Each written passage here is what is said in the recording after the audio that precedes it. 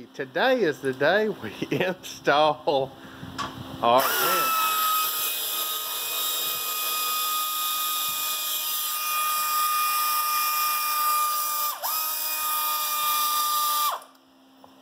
Get it lined up. Yeah.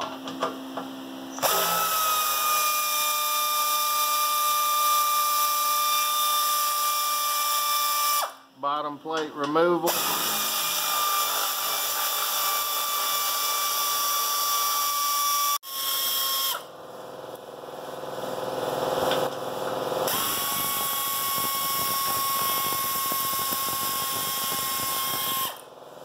But out. Unplugging the fog lights. Unsnapping the wires. Bumper bolts.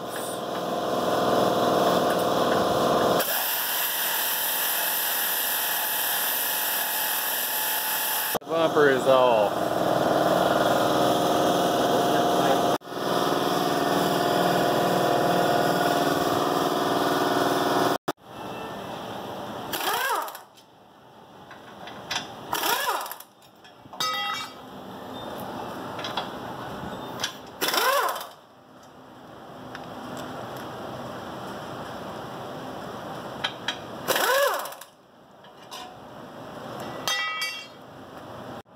Winch plate. Side. And what it is, is them are shims. Yeah. Some spacers. If you ain't using these to go back,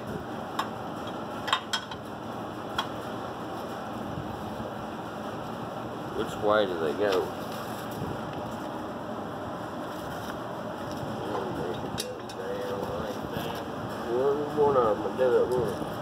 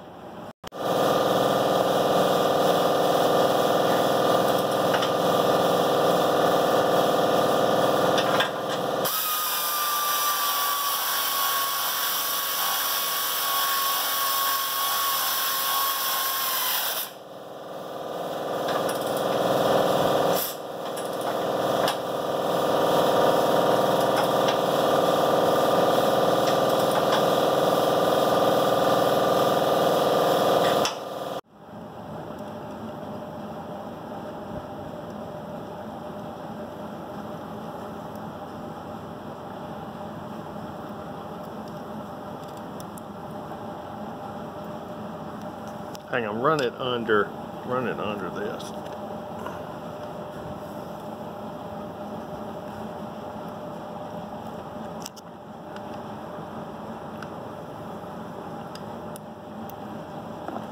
Thinking that these are supposed to be like this.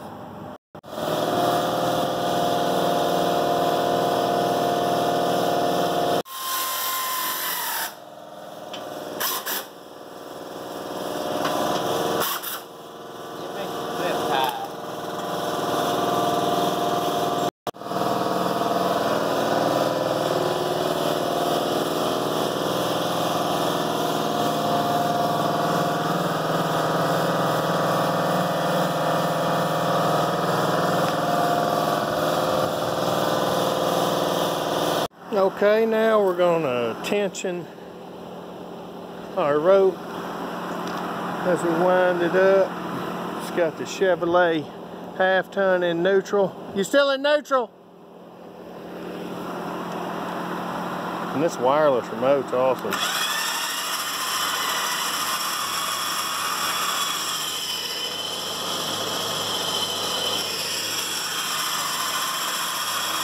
Pretty fast too.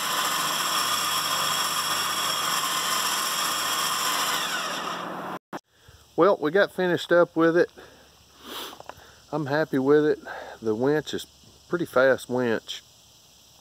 I've had uh, one winch in the past that was faster, but this one is faster than uh, every other one I've had but that one. I couldn't film everything yesterday because I was having to help, but this front bumper snap-in cover piece, we had to Dremel out the hole to mount the Fairlead on top of it, which worked out great. Uh, wired right up. The uh, engage disengage is really smooth. Goes in and out really easy. The wireless remote, I was tickled with that. And everything went went well and went right on. I don't know what else to say about it. It's a winch. Loving that JL bumper, man. That thing, the winch plate went right in. Didn't have to cut anything. Everything bolted right up. Oh, and one thing I really like about this winch is you can unbolt it and pick it in and out from that hole in the bumper. Some of the bigger ones, you can't do that. There's not room. But this one, I can just unbolt four bolts right now and pick it right up out of that hole. So that's pretty awesome. So yeah, that is the winch. All right, y'all. Anglin Army over and out.